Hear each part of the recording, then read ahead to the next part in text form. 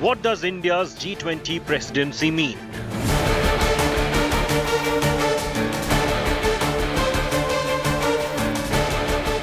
Biggest global voices on one platform, the G20 Roundtable.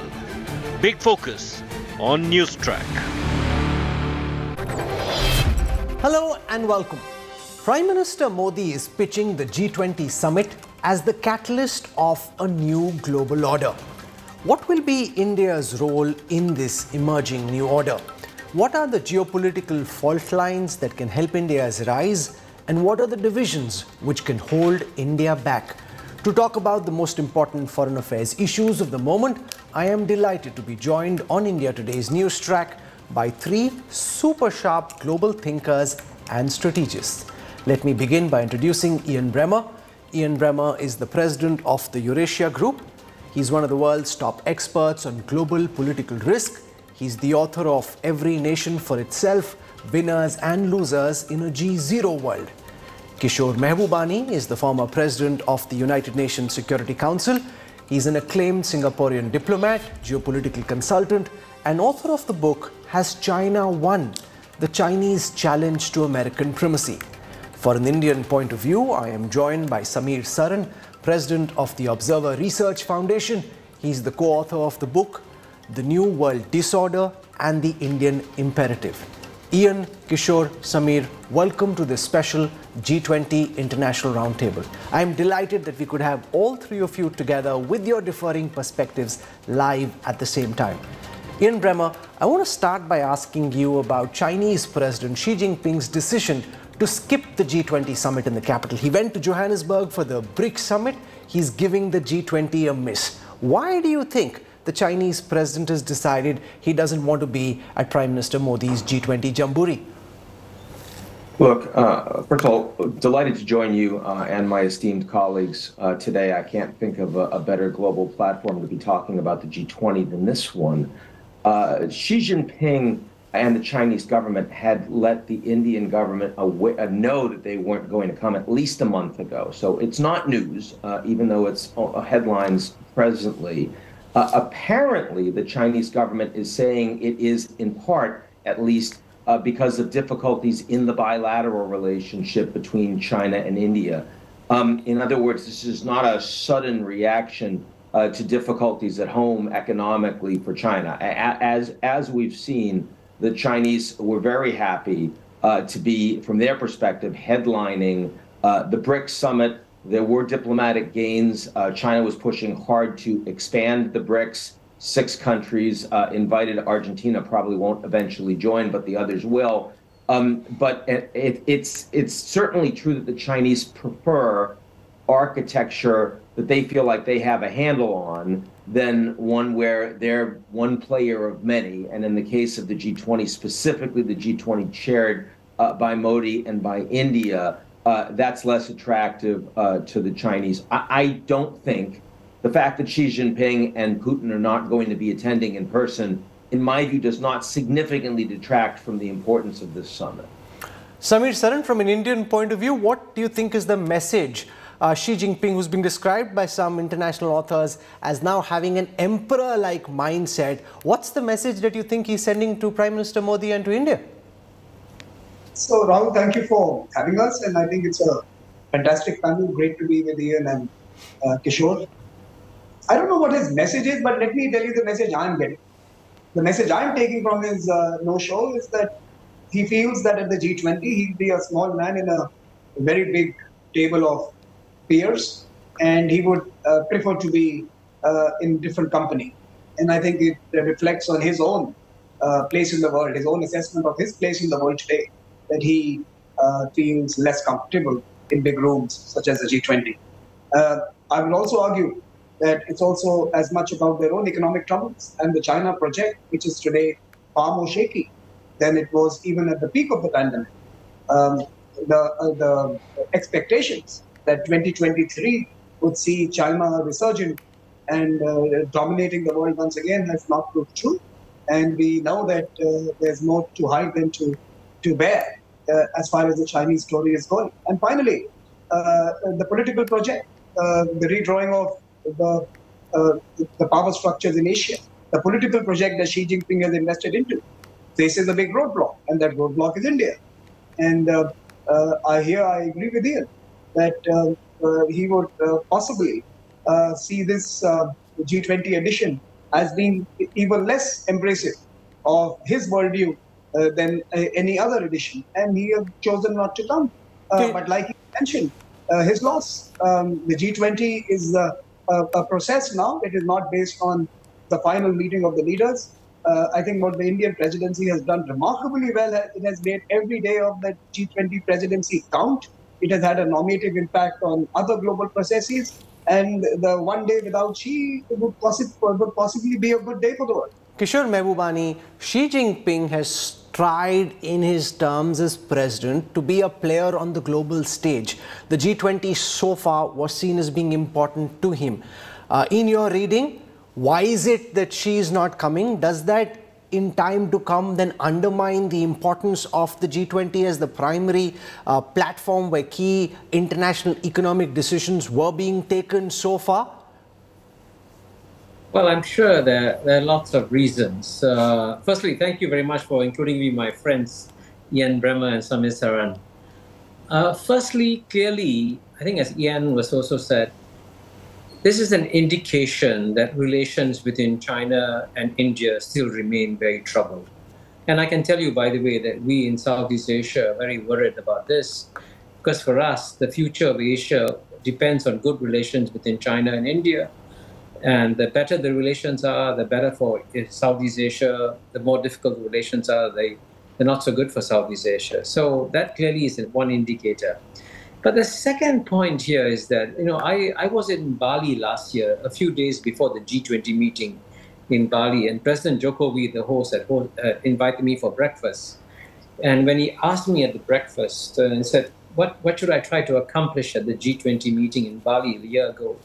I said to him, President Jokowi, if you can organize a good meeting between President Xi Jinping and President Joe Biden, the world will be very grateful to you because, you know, at that time, as you know, relations between US and China were extremely bad, and there were there weren't even all these visits that have taken place since then, of Blinken, Yellen, and so on and so forth.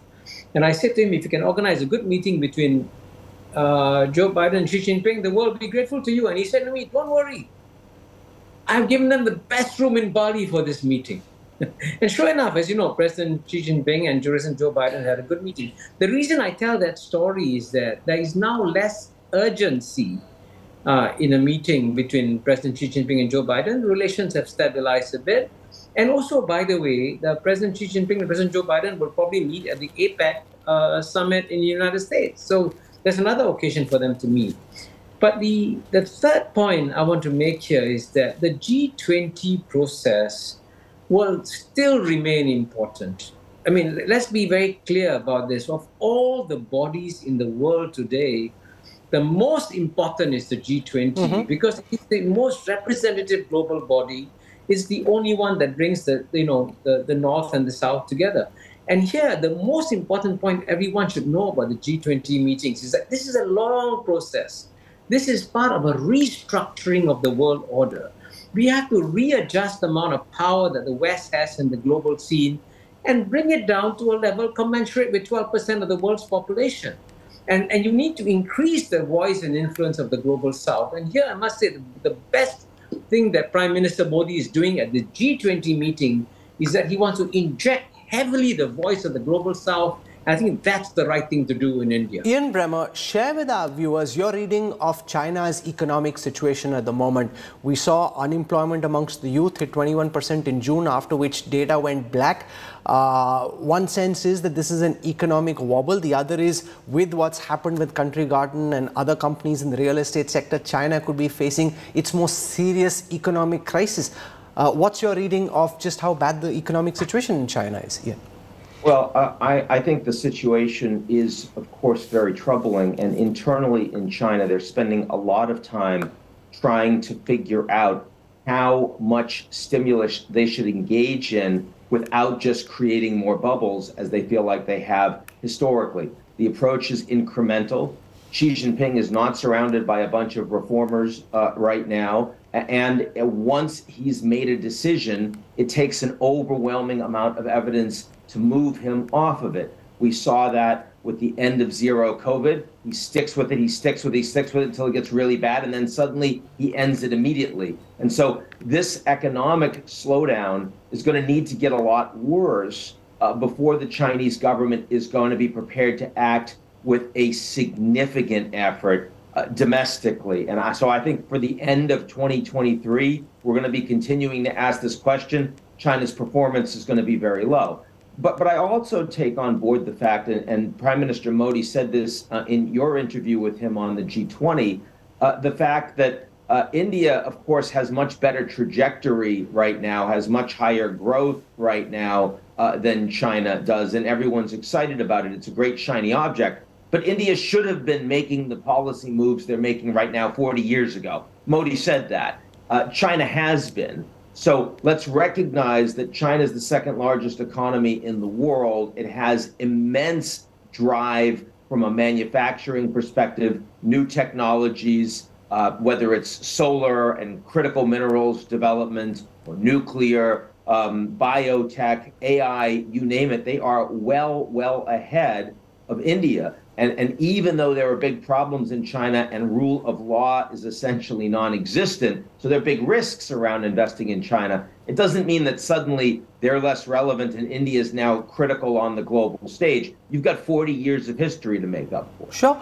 Uh, Samir, throughout India's tenure as the chair of the G20, China seems to have worked to obstruct and challenge India's leadership in some way or the other, from small things like opposing Vasudhaiva Kutumbakam uh, to you know on issues like Russia, Ukraine, climate change, energy policies. China, in various ministerial meetings, has been described as adopting obstructive tactics why do you think they've had this role, given the fact that in Bali there was a joint declaration, a joint communique that all countries agreed to, whereas in all our ministerial meetings, we've struggled because of this kind of obstructionist attitude in coming up with language which everyone agrees on?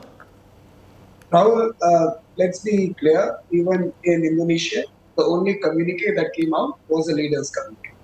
Everything else was a chair statement, and it's no different in the Indian presidency. So we are following pretty much the same uh, formula this year uh, uh, until now. We'll of course have to see whether we get a communique out when the leaders meet. The Indonesians could manage that, but as a European diplomat observed this morning in one of the papers, uh, this time both sides, uh, EU and Russia, uh, EU and US on the one hand, and China and Russia on the other, seem to be more entrenched and far more ideological in um, the disagreement that currently uh, is, uh, is uh, on a particular formulation on the conflict.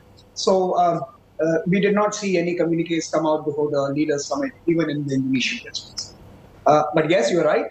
the Chinese see this as a political moment to minimize progress under the Indian presidency, not realizing that in the Sherpa track, where all the ministerial and other engagement groups meet, um, most of the work that happens is on a, a shaping role. Uh, they don't have executive powers to enforce any uh, progress either on climate or on gender or on health or on any other matter.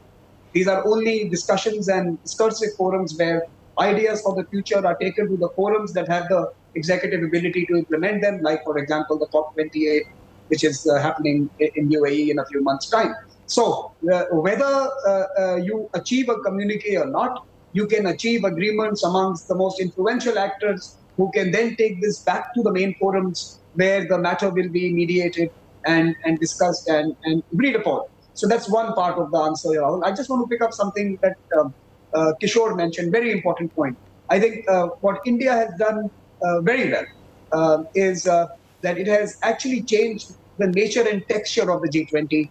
Uh, I call it the People's G20 it has been taken to every nook and corner of the country, but more importantly, it has engaged a, a vast array of groups students, academics, civil society actors, farmers, fishermen, fisherwomen, um, all sorts of communities, you know, a women-led growth model, a tech for development model. We have had a plethora of minds and, and actors participate. Millions and millions of Indians have participated. They have brought their counterparts from other G20 countries into the discussions as well. G20 will never be the same again. It will never be this high table where only the high and mighty meet and discuss matters that are not relatable to people. India has brought people into the rooms. It has also made the rooms more relatable to issues that matter to people. And it has, of course, as Kishore rightly mentioned, it has made Global South uh, uh, um, a visible participant in the process of the G20. Um, so I think uh, that has been the single biggest contribution. Ian is right. China was uh, this GDP 15 years ago. Uh, the Indian GDP size today is China 15 years ago. Um, uh, it's a 15 year gap between the two countries. Um, uh, we should not be over leveraging uh, the, the, India story, but we must realize that the India story is now on its way. It should have started 40 years ago. Maybe it is 40 years late, but the trajectory over the past few years gives me hope that in the next 15 to 18 years, we would pretty much be where China is today. And that would be a remarkable transformation uh, that um, uh, people that that you know brilliant minds like Ian would have to contribute to, but also will also have to critically analyze because it is going to change the world. The movement from three and a half to fifteen trillion dollars is going to uh, absolutely create uh, uh, a new um, basis for managing much of what the world today uh, is engaged in. Kishore Mahbubani, I want to spend a moment on the mindset at this moment of the Chinese president. I want to quote to you what Alfred Wu, Associate Professor at the National University of Singapore's Lee Kuan Yew School of Public Policy said. He's describing Xi as being in an emperor mindset, who's expecting dignitaries to come to him, leaders from Germany, France, four senior Biden administration lieutenants visit Beijing since China lifted COVID-19 controls. He's essentially saying he enjoys the high status when he's receiving guests at home. In the policy moves that Xi Jinping has made uh, during COVID and post, you know, what's the mindset uh, that you're picking up at the moment? Well, I, I can tell you that China is one of the most difficult countries to understand. And I've tried my best to understand it. And so, for example, if you take the short term, uh, Ian, Ian Bremmer is right. Uh, 2023 will be a difficult year for China for many reasons. Very difficult year. But what's going to happen in 2024, 2025? And I can tell you the conventional wisdom in the Western media is that, oh, the China growth story is over, the people are tired, they're disillusioned. But you know, there was also a story, by the way, in the Financial Times pointing out that the more dynamic sectors of China's economy continue to function very well, and China has overtaken Japan as the number one exporter of cars. So that that in China is complex story. There are and and you know when you when and I'm really glad that India's economy is going to do very well. I share the optimism of uh, Samir. It'd be wonderful for the world when India takes off too. But you know the global supply chain story again is something you cannot replicate what China has done overnight. It'll take a decade or more to do that. But your fundamental question is, what is the core thing in the Chinese mind? And there, there's a very simple answer. The core element in the Chinese mind is the century of humiliation that China suffered from 1842 to 1949. And if there's one psychological force that is thrusting China forward, it's the memories of the century of humiliation. And therefore, the Chinese have learned profound lessons as to why they got slapped by the West for 100 years effortlessly. And one of the lessons they learned, by the way, is that the reason why China collapsed is because it closed itself up, literally. So, how does China come out? The answer is that the Chinese economy must remain open to the rest of the world. But you heard what the US Commerce Secretary said during her visit uh, to China recently, where she said because of the haphazard ad hoc economic policies, China is becoming increasingly uninvestable for international firms. Well, I can tell you it's very simple. Go back to her statement one year from now go back to a statement two years from now and then watch the investment figures. Now, it is true, by the way, eh, that the I think Ian can Ian probably has the latest data. The flow of new investment foreign investment into China has slowed down for many reasons, COVID and other reasons. But if you look at the investment in China by companies inside China, are they reinvesting in China? And the answer is yes, they are. I mean, look at Tesla, okay? Tesla is one of the most successful companies in the world. What is Tesla doing? Tesla is betting on China. So, you know, they are, they are, it's, the Chinese story is very, very complicated.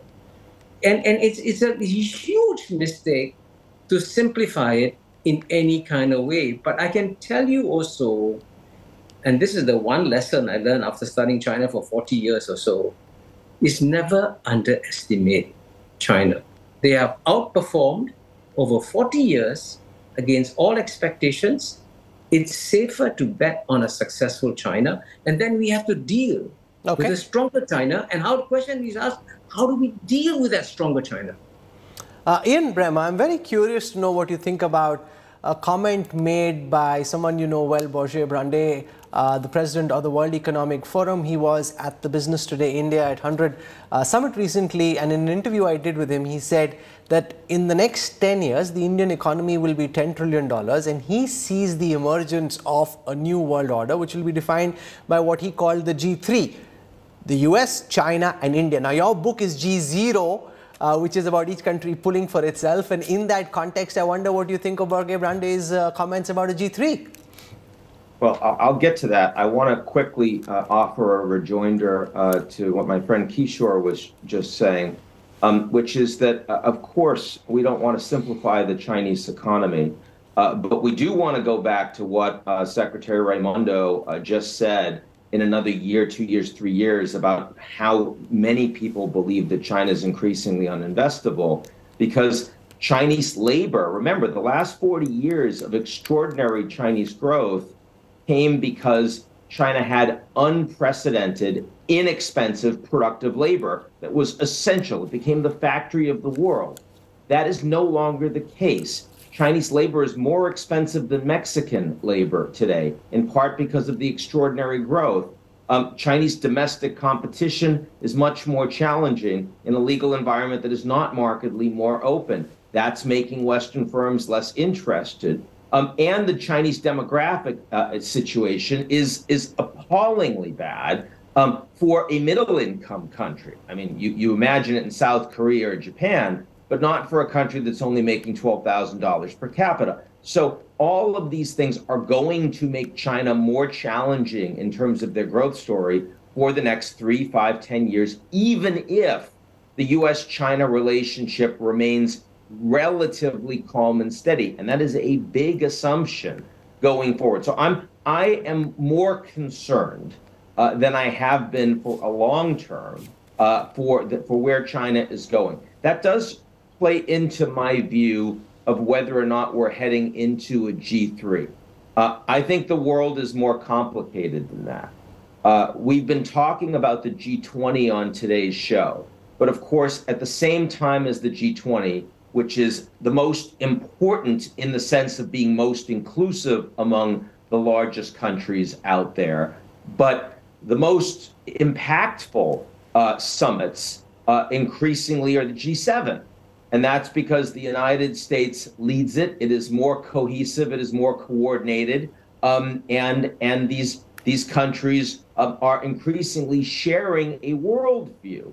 Um, that means that the BRICS, with China much more comfortable attending it, um, they're trying to make that a different order uh, uh, that that has the Chinese and the global South together. And and certainly I see uh, an environment that's going to be much more complicated than G3. I see one where the Americans are dominating the security order that feels like a G1 still, with a bunch of rogues that don't participate.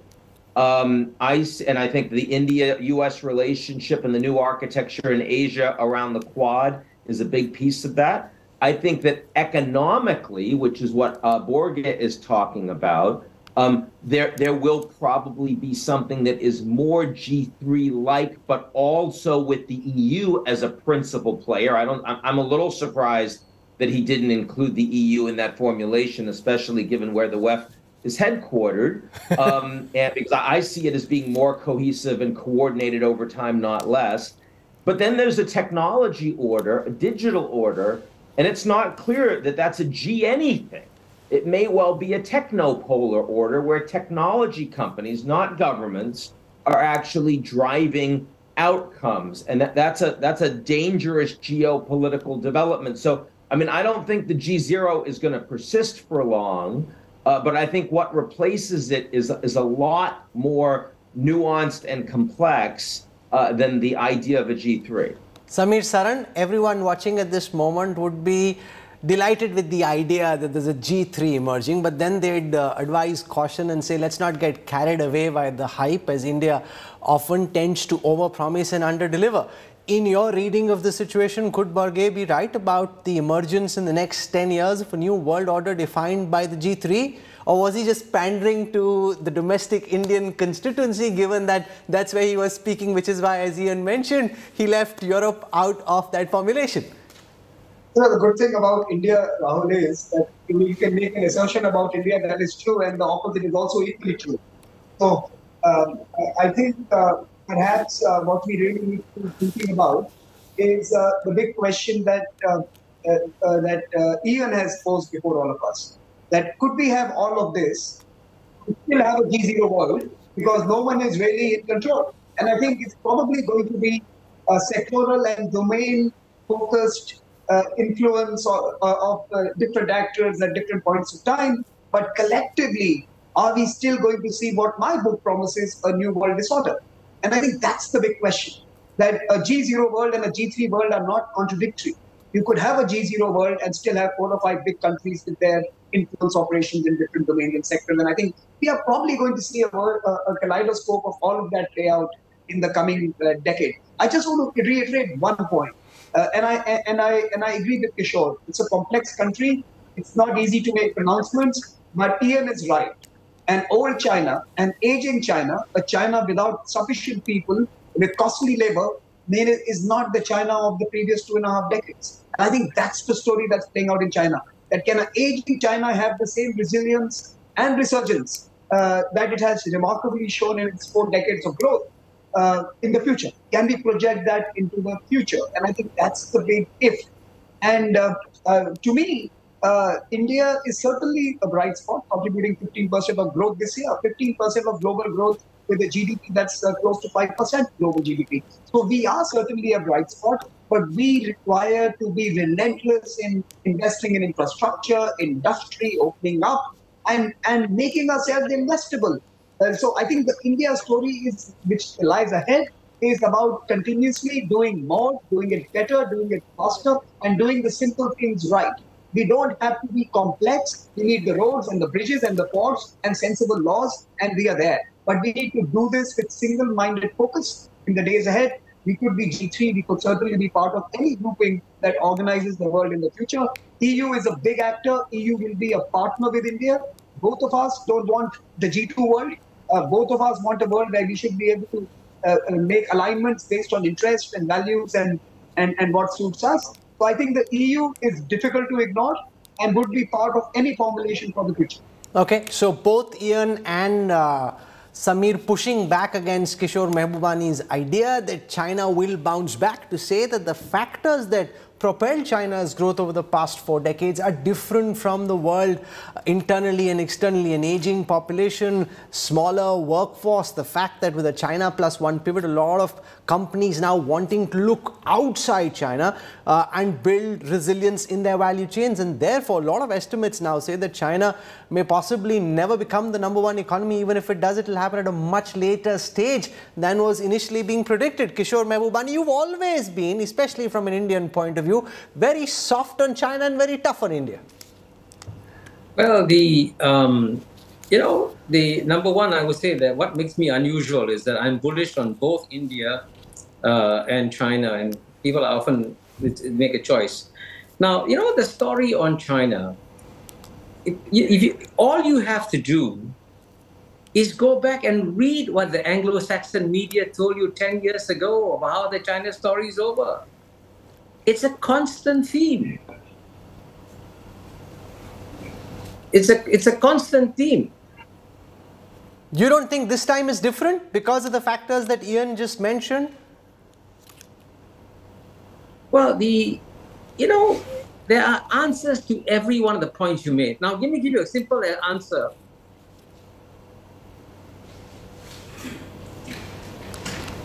Let me give you, let me give you a simple answer. You know, China is producing the largest number of robots in the world, the largest number. Now, that's a, clearly an answer that they saw long time ago to the fact that the labor force is diminishing. China is also producing the largest number of graduates in STEM, science, technology, right? And China has surpassed everyone's expectations. When the United States cut off exploration on space with China, how did China perform? It set up its own international space station. I, I'm only saying this, by the way, if China performs as badly as Ian says it is going to perform, we have nothing to worry. China, the story is over. But what happens if my predictions come true? And you'll find out in five to 10 years. And China really becomes the number one economy in the world, then it's a different world. And we have to psychologically consider what that kind of world is. And by the way, surprisingly, I agree with Ian Bremmer that it won't be a G3 world, it'll be a very complex world. There'll be many shapes and nuances, lots of players, lots of players, including, by the way, ASEAN uh, in Southeast Asia, including the African Union. And I can tell you, Russia will play a role too. So it'll be a very complex world. And the simple black and white divisions that we make will no longer operate in the world. And I must say, the one thing I have to disagree with Ian Bremmer is about the G7. It's a sunset organization. it represents the past. It's a postcard from the past. People will laugh at the G7 10 years from now when they continue meeting. Come on, let's get serious. The world has changed fundamentally. You know, the reason why my book, The Asian 21st Century, has been downloaded 3.2 million times in 160 countries is because the world is psychologically preparing for the Asian century, which includes India in a very big way. Ian Bremmer, That's the story. there's a pitch for downloading the book, but that aside, uh, this uh, I, I want to give you a moment to respond to the idea of the G7 being a sunset platform that the days, the best days of just G7 are behind them and respond to Kishore Mahbubani's point about if all the prognosis about China's doom is wrong, then in the next five to 10 years, the world will be looking at a very different kind of world order, which will be led and determined by China, he says. I mean, it, it is surprising to see um, the level of willingness of Kishore to accept uncertainty around China, and I agree with him on that and have such certainty around the idea that the G7 is history. That, that I, I don't know where you get that level of certainty and lack of nuance um, about about the United States and the core allies among the advanced industrial uh, democracies. Uh, I, am I'm, I'm impressed with that level of confidence. I just don't know where it comes from. Um, I, I don't know that the G7 is history. I think the challenges that China faces and that the United States, as the world's largest economy, uh, face are very different. The Chinese challenges are overwhelmingly about their economic system, about the stage of globalization, about their demographics, um, about state capitalism and its efficiency.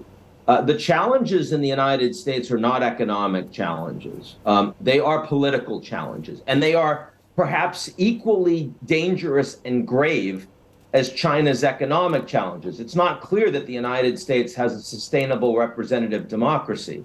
It's not clear that its citizens believe in America's political system or its allies believe in America's political system, the way it's not clear that Chinese uh, believe in the Chinese economic system uh, going forward. Um, and and I, I think that that's going to be the biggest question about the strength of the G7 uh, is whether the Americans are prepared to continue to play uh, a leadership role. What kind of outcome do we see from the 2024 US election, which is a train wreck waiting to happen and with very few signs of pushback domestically. So, I mean, clearly, following the Russian invasion of Ukraine, something we haven't discussed yet, but that's been occupying the G7 very strongly and not the G20 uh, over the last uh, 500 days. Uh, you have an enormous level of leadership and coordination among all of those allies. And it's even bringing Asian allies closer uh, to the G7, closer to NATO as a consequence. Will that still be true in another two years? There's a huge uncertainty there, easily as big as the uncertainty as China's economic performance going forward. And I think we just don't know. I think we have reasons to be skeptical about the future trajectory of the G7. They are largely political, and they are similar in scope to the reasons we have to be skeptical about China's economic development. In both cases, big things need to change if we want to continue to see success. And right now, we're not seeing any assessment in the US political system or in the Chinese economic system that those big changes are coming. Let's spend a moment on the Russia Ukraine war, Samir, because when we interviewed the Prime Minister for Business today, one of the things he said is that, you know, there are other issues on which there can be convergence. Amitabh Kant, the G20 Sherpa, said, let's focus on what unites us, not what divides us. However, the German Sherpa for the G20 has said, how can you have a G20 without spending substantial time, energy, and effort talking about the Russia Ukraine war? Uh, do you see the dynamic pull playing out over the Russia Ukraine war derail any attempt India may make to have a joint communique, to have tangible outcomes at the end of the G20 leaders summit? How should India be playing it on the back of the Sherpas meeting and right before the Leaders summit begins? Look, Rahul, as a host and as a platform provider for the G20, India has to, uh, in many ways, find the sweet spot that allows all participants to feel that their viewpoint has been captured and reflected in the final communique if it is to be signed by all. And uh, here uh, it will have to use its uh, persuasive powers uh, to to come up with a, a, wording or a, or a draft that works for all. Uh, having said that, I think the G20, where the biggest countries sit, uh, is a platform that over the years has confronted a few crises, right? Uh, it was shaped during the crisis. In, in, many ways, the G20 was elevated to a leaders' summit uh, in the midst of a crisis. And uh, anything that impacts the globe, uh, the G20 will have to deal with. So I think uh, there is a there is a it's a fair thing to say that while it was not designed to be responding to uh, a, a, crisis such as the one that is unfolding in Ukraine, it it has not been impervious to the to the implications of that conflict. And uh, countries that are affected and countries that are uh, uh indeed proximate to that conflict uh, are going to be viewing the world and issues through that particular prism.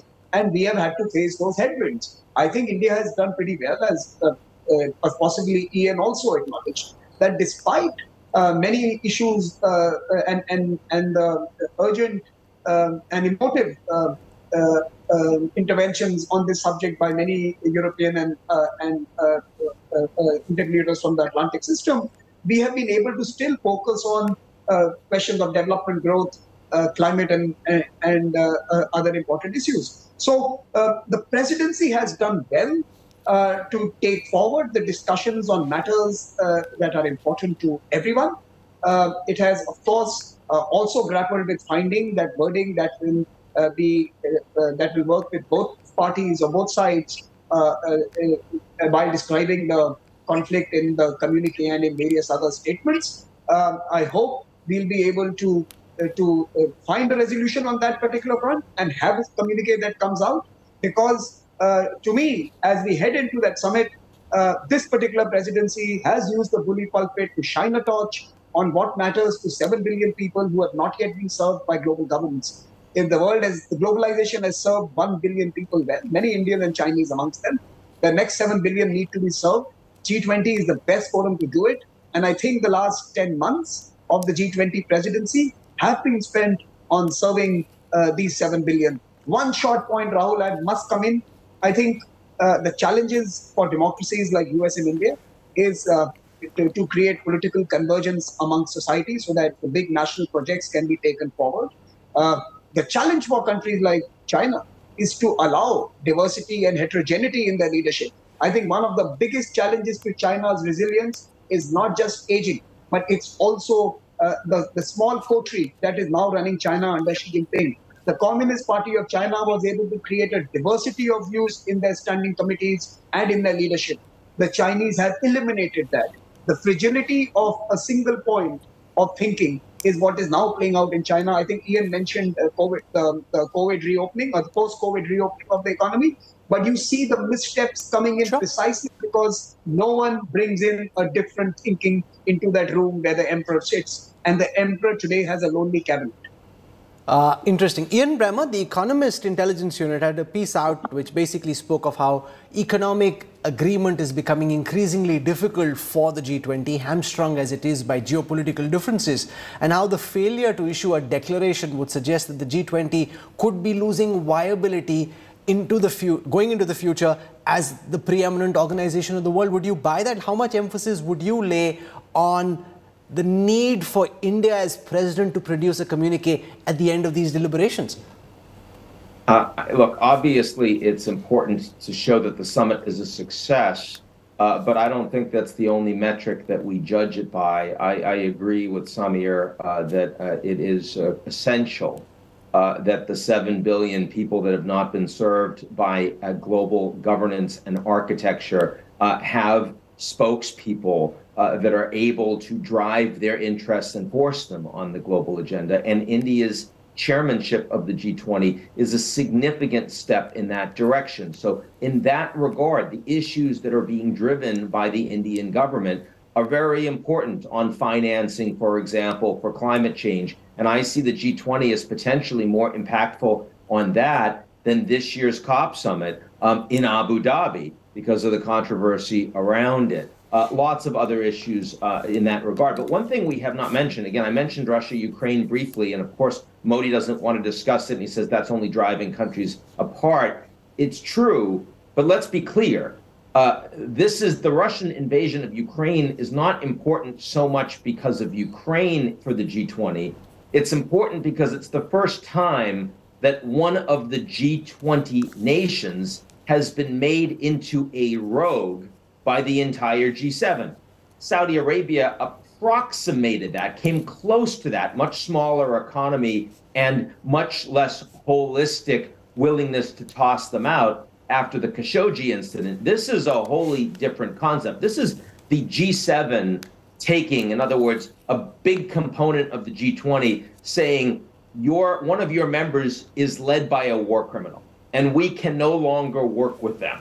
And I agree um, that Russia is still going to be, as Kishore said, an important country in the world. It's just going to be an important country that is seen as a war criminal. Uh, that's a real problem for the G20. That's a real problem for the development of the global economy. I mean, for gas flows, for food, for fertilizer. There's a deal that they're trying to get back on the table today with Turkey, unlikely to occur. And so the, the interference of geopolitical trends of which the biggest near term crisis has been the Russian invasion, but there are many, many more, with economic development is a principal spanner in the works of how we can continue to drive cooperation in the face of really big global challenges. You need global responses, but nobody believes that we have effective global responses right now, not to COVID, not to climate, not to technology, not to the Russia war. Um, and that's a very, very principal challenge, not just for the G20. I'm running out of time on this roundtable, but I have I want to go across for one final question each. And Kishore Mahbubani, I'll start with you. One of Prime Minister Modi's big attempts has been to position India as the voice of the global south during his G20 presidency. Now, China, over the past several years, has been working towards emerging as the leader of the global south. Is this where an India-China contestation is now shaping up, where India, through its efforts to onboard the African Union as a permanent member of the G20, is trying to give the global south a voice, whereas China sees itself as the natural leader of the global south. How do you see this play out? Well, I think it's good that both China and India are competing to be leaders of the global south because the voice of the global south, as Samir uh, said very clearly earlier, has not been heard. And you know, you asked about Ukraine earlier. You know, you interviewed Prime Minister Modi, and I remember in the in the interview you asked Prime Minister Modi, "What are you going to do about Ukraine?" And what was Prime Minister Modi's response? He says, "Why do you mention Ukraine only? Aren't there wars in Syria? Aren't there wars in Libya? Aren't there wars in other parts of the world? Why do you focus on one war? And he said, this is where, you know, uh, Foreign Minister Jaishankar was very wise. He said, Europe thinks that Europe's problems are the world's problems. But the world's problems are not Europe's problems. That's why it's good that India is vying for leadership of the global south because there's so many more issues than Ukraine in the world. Yes, Ukraine is important. But come on, 88% of the world's population lives outside the West. And 85% of the world's population has not imposed sanctions on Russia.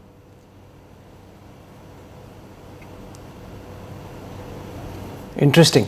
I want to go to Samir on the issue of the BRICS and the SCO. India at this moment is in this uh, position where it's president of the G20, is a key part of the Quad, is furthering ties with the United States and yet is a member of the SCO, which obviously they didn't put the kind of soul into uh, because the SCO summit this year was held virtually by India.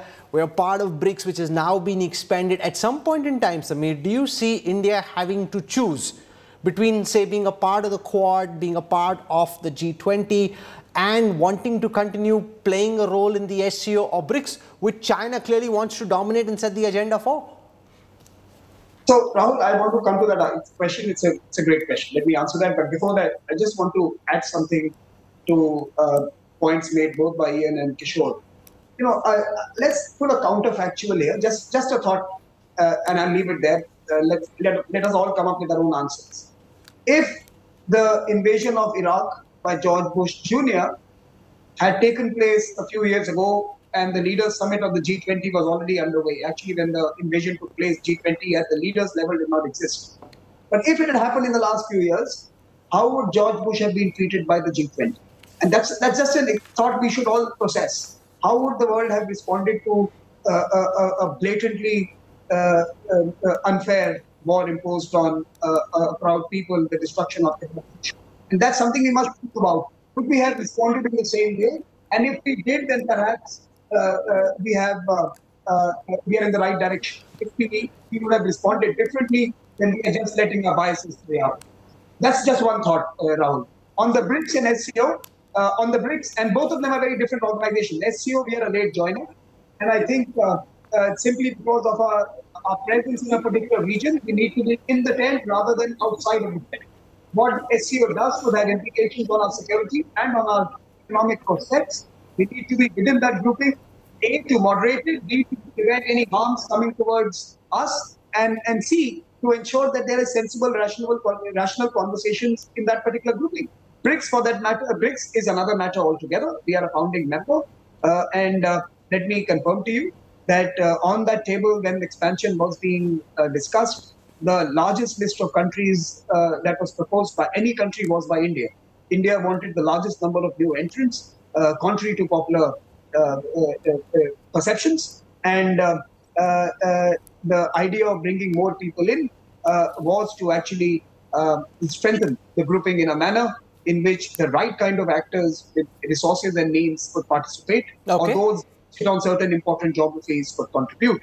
And uh, uh, if you look at the new entrants, you would not find many who would not be equally comfortable with the G7 uh, as they are with the others in the BRICS grouping. So the countries who have come in are not polarizing figures or polarizing uh, uh, countries. They are all countries who are going to contribute to the bridging role that these emerging geographies must play. They are right after the Indian mold, where uh, we believe that we need to be in as, as many groups as possible because there are going to be some countries, including the US, including India, including a few others like China and Japan and others, who, who will have to be in multiple uh, uh, smaller arrangements so that we have a cohesive, larger world order. Okay, last question, Ian Bremmer. I interviewed uh, Fareed Zakaria a couple of days ago, and one of the things he said about American politics is that no matter who wins, America is headed most certainly into a state of political crisis. Uh, he spoke of how if uh, Donald Trump wins or loses, uh, there is likely to be chaos. So, given uh, where you sit, could you share with our viewers your reading of what's most likely to happen in America, putting on uh, your risk hat right now? Look, um, I, I, mentioned that no one's looking forward to this election, uh, aside from perhaps America's adversaries. Uh, it is very likely that this is Biden versus Trump redux. Uh, the two uh, incredibly uh, old and also uh, pretty unpopular leaders.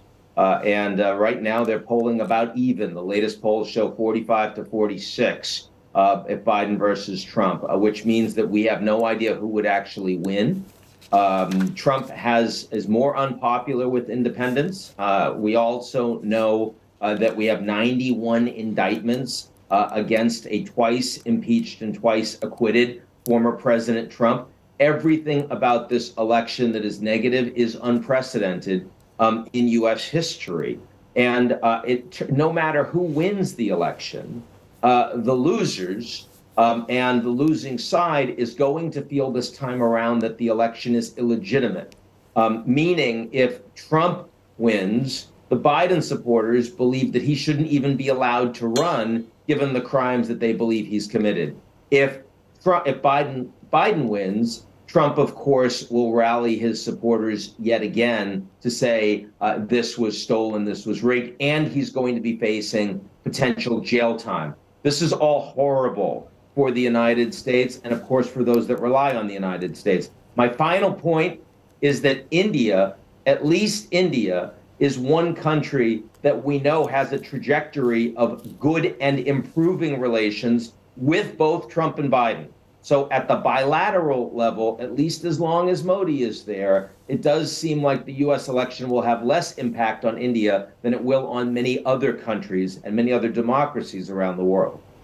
Ian Bremmer from New York, uh, Kishore Mahbubani from Singapore, and uh, Samir Saran from New Delhi for lighting up this G20 International Roundtable with the depth of your insights, the breadth of your perspective. Thank you very much. India is aiming big with the G20 Summit, so we thought the India Today group should do the same, set up a high quality international roundtable. And I think the kind of insights you've heard over the past hour would be very difficult to find on any Indian or, for that matter, international broadcast. So thank you to our guests for making this so special. I'm slipping into a break.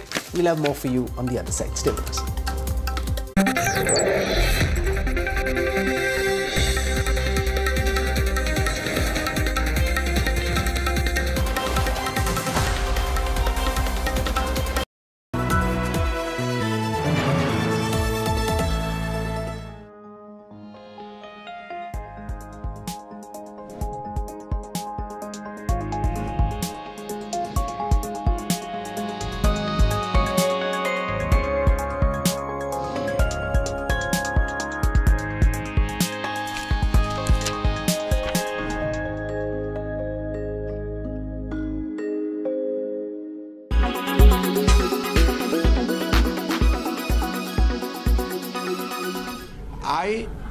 Not want to condemn that uh, minister from Tamil Nadu because he has exposed himself.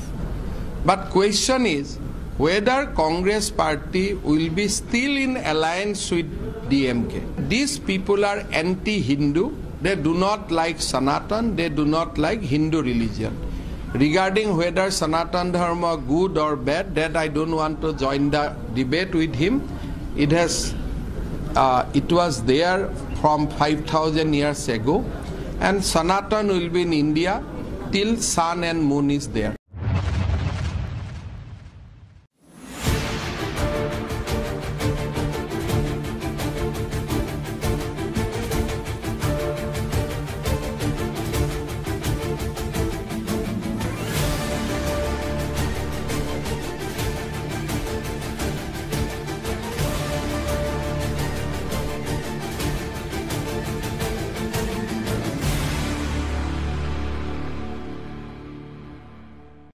Forecast now.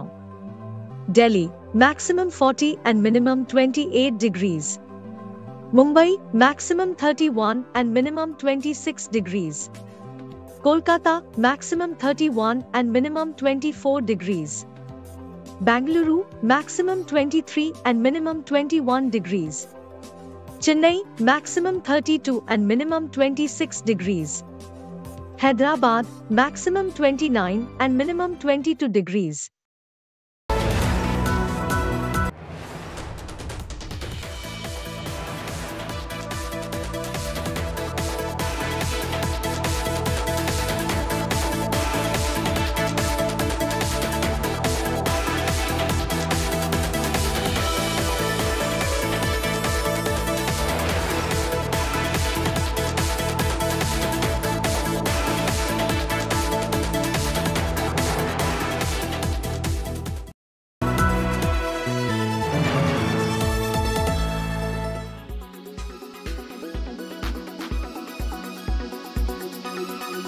Row has erupted between the AAP government and Delhi LG VK Saxena, this time over what AAP is calling shivling-like fountains that have been installed in the national capital ahead of G20.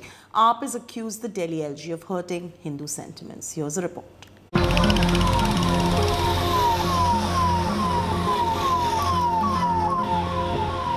As Delhi gears up to host the G20 summit, the Aam Aadmi Party and Delhi LG VK Saxena are at loggerheads over shivling shaped fountains which have been installed in the national capital.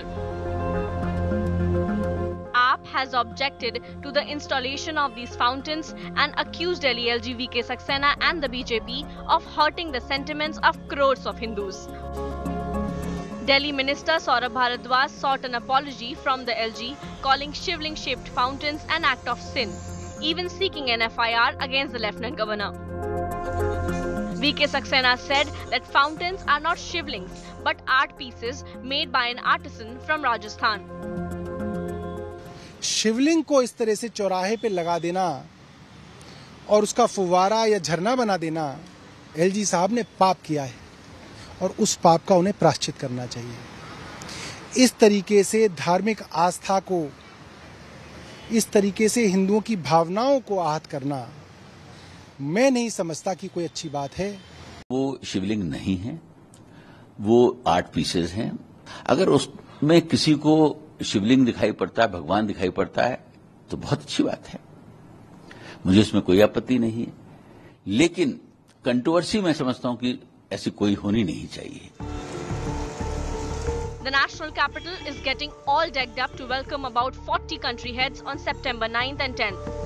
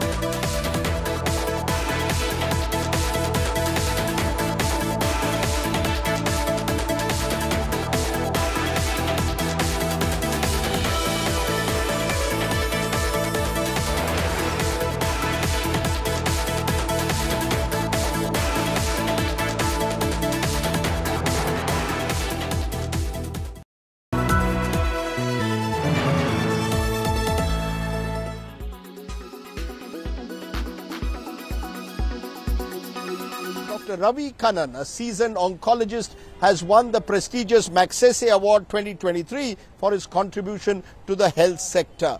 Years ago, Dr. Kannan left his home in Chennai to work amongst the people of Silchar to fight cancer. He's our Good News Today story.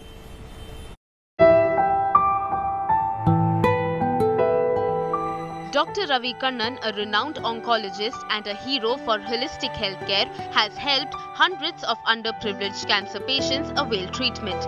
Assam-based Dr. Kannan, who has been awarded the Padma Shri, has won the Ramon Magsaysay Award 2023 for his contribution in the health sector. Award मेरे साथ hospital में 450 colleagues हैं मेरे हमारा society है यहाँ पे Barack पानी के सिटीज़न भी है जो हमारा मदद करते हैं। सबका जो मेल है ना, इसके कारण कुछ भी होता है। इसका, इस इस ह्यूमन कोलाब्रेशन का ये रेगुलेशन है। In early 2000s, Dr. Kannan visited Assam as a guest surgeon several times. His life was in Chennai, but after meeting Kalyan Chakrabarti, the head of the Cachar Cancer Hospital and Research Center, Dr. Kannan decided to help people of Silchar fight cancer. But a bigger battle was awaiting him. Myths about cancer. People would come for consultation, but nobody wanted treatment. In 2012, Dr. Kannan performed first surgery and proved the patients can win against cancer.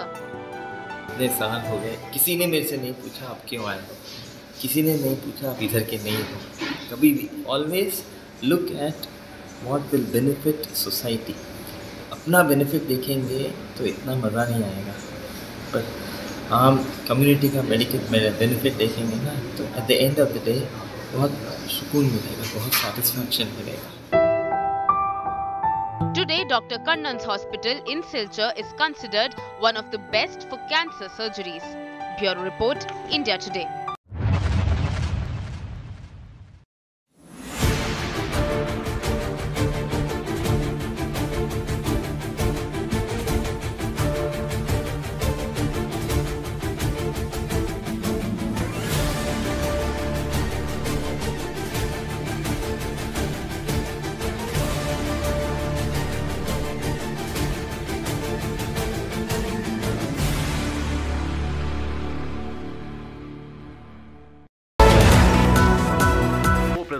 By Star Health Insurance, the health insurance specialist. Co-presented by JK Tyre Ranger Series. Stay wild at heart. Co-powered by the new Kia Seltos, the badass reborn. Co-powered by PolicyBazaar.com. Her family hogi insured. Co-powered by the bold look of Kohler.